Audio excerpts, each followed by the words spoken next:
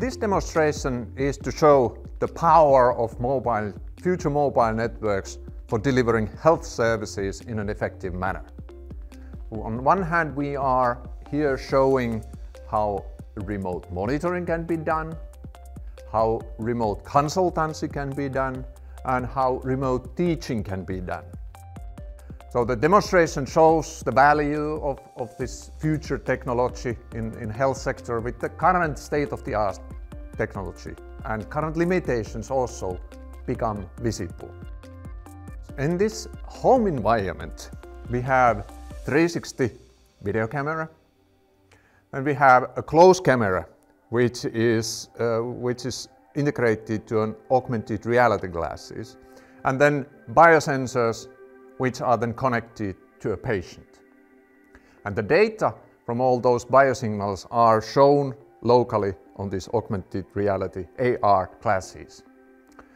And the data from all these devices, these gadgets, they, that is gathered together and then transmitted real time via, for example, 5G, then to that central hospital.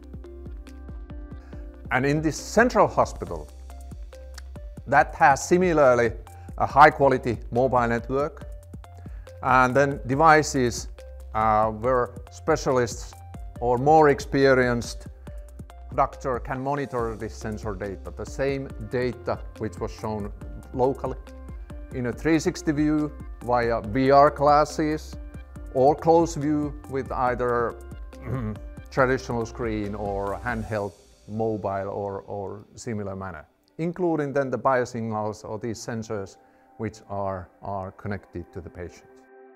E-health is a good example of a use case or a vertical or a segment where which sets very high requirements for the network security, robustness, latency, and etc.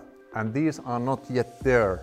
Since we are stitching 360 video real time and delivering that, that causes uh, unavoidable delay. And if you have a voice connection there in parallel, then they are not perfectly synchronized yet. We have multiple streams. They are not yet aligned with the current networks.